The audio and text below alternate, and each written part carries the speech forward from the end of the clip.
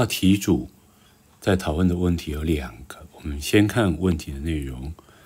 二十四题说，我们的哈勃望远镜它的面直径只有二点四，而我们地面上最大的光学望远镜的口径有十公尺。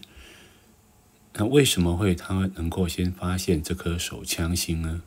这颗手枪星是银河中最亮的星，称为手枪星。那它本身这边所谓的最亮。应该是光度最大的意思哈。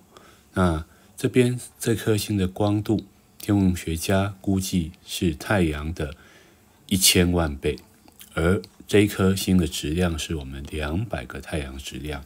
那因为它离我们很远，所以我们在地面上，即使透过最大望远镜，还是没办法找到它。原因是因为大气扰动会对我们的解析度产生限制所造成。好，所以这一题答案主要还是大气的影响。至于这错的叙述，我们也看一下，在太空中才可以做红外线观测，这是错的。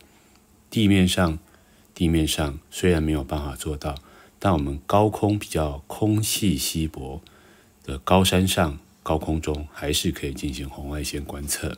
再来，北半球地面上望远镜，其实上可以看到银河中心。银河中心在在人马座，就是射手座的方向。再来，在太空中的望远镜离银河系中心比较近，但是我们离银河系中心有三万光年。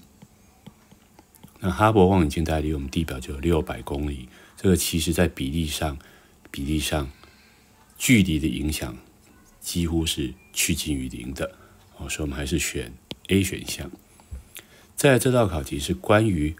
恒星寿命的算法，基本上恒星的寿命会跟它的质量成正比，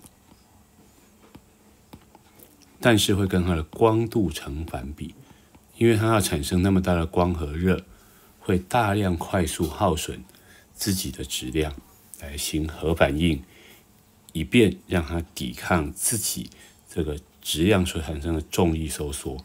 哦，所以我们大致上可以有个基本概念，就是质量越大的恒星，通常它的寿命会越短。那如果按照题干给我们的资资料的话，它的质量是太阳的两百倍，但光度是我们的一千万倍，太阳的一千万倍。所以这除出来比例，你可以想象它的寿命应该相当相当的短。哦，所以以这道考题来说，这个数据都是差太多的。差太多的哈，那寿命来讲，它当然是比较短。那恒星寿命跟质量是有关联的，所以这也是错。质量越大，寿命越短，所以它寿命应该远短于太阳。那以这个数据来说的话，假设我们乘以太阳的寿命一百亿年，就是十的十次方，那你这样算出来的话，大概是。